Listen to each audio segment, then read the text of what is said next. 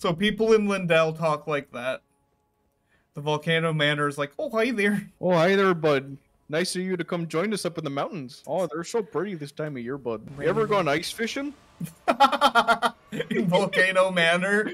It's an experience, man. Brings a whole new meaning to volcano trout.